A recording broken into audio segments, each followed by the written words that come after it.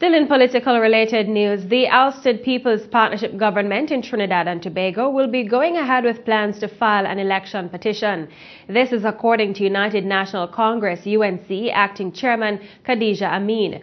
Ameen would not divulge much to reporters except to say that the matter is being worked on by the coalition's legal team.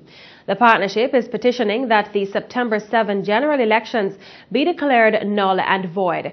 The basis of the claim was the decision by the Elections and Boundaries Commission EBC to issue an extension to voters in Trinidad on the day due to rain.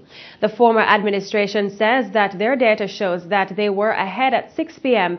and had it not been for the EBC's actions, the votes would have swung in their favor.